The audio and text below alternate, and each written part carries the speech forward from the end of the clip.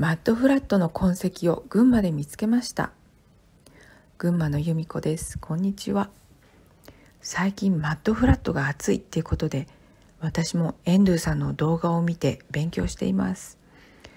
200年ぐらい前に泥の洪水が起こって世界中が埋まってしまったんじゃないかっていう説なんですけどそれ以前にタータリア帝国っていうこの広い日本までもしかして入っていったかもしれないっていうようなあの大きな国があって技術も今ないような高度な技術もあったりあのフリーエネルギーを使っていたんじゃないかとかね。でこういう今映している建物なんかももしかしたらタータリアの遺産じゃないかなっていう話がありまして。それであれ？そういえば群馬県庁って今はあの地上33階地下3階333666の半分っていうそういう建物になっているんですけどその隣に昭和庁舎っていう古いのを残してあってそれが素敵なんですよ。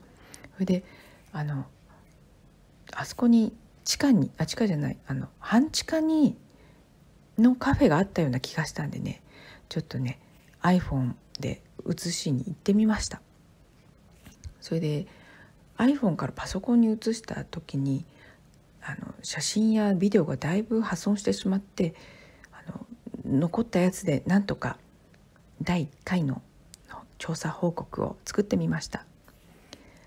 これがね昭和庁舎なんです。素敵でしょ？う夜はねライトアップしてたと思うな。うん。それであのカフェは残念ながら半地下じゃなくて地上1階だったですね。でもねこの建物自体に地下はある感じだったんですけど外から見てわかる地下じゃなかったです。で道挟んだ向かいに群馬会館っていうのがあってこれも同じような作りであの素敵なんでちょっと行ってみました。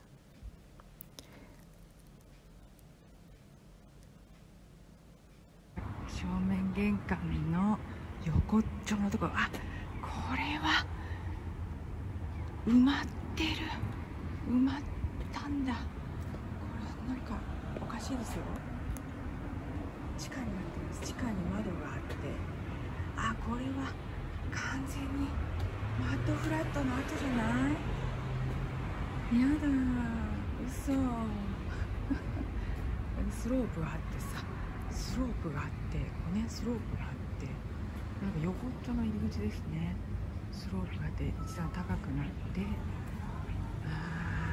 から1階部分が埋まってますねこれはどうも。そうここっちもさこっちもこういう感じで。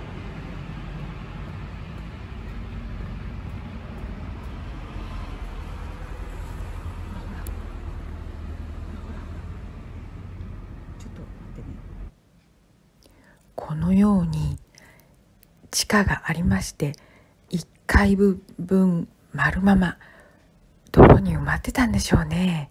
それを掘り返した感じがしますね。この大きな窓。地下にこんな窓作りませんよね。普通ね。うん。おかしい。マットフラット来たんだろうな。あの最初はね群馬はちょっと大阪とかね東京とかより標高が高いから泥が来なかったかなって思ったんですけど来てましたね。あのこの辺は標高が 100m ぐらいです。大体。で東京とか大阪なんかもうほとんど 1m2m とかせいぜい 5m ぐらいじゃないですかね。すごい泥だったんですね。あでね地下はね何になってるのかしらと思ったら群馬会館食堂っていうおしゃれなレストランでした。友達に聞いたらあのクリスマスなんかはおしゃれレストランで宣伝してるよって言ってました。いっぺん来てみたいものです。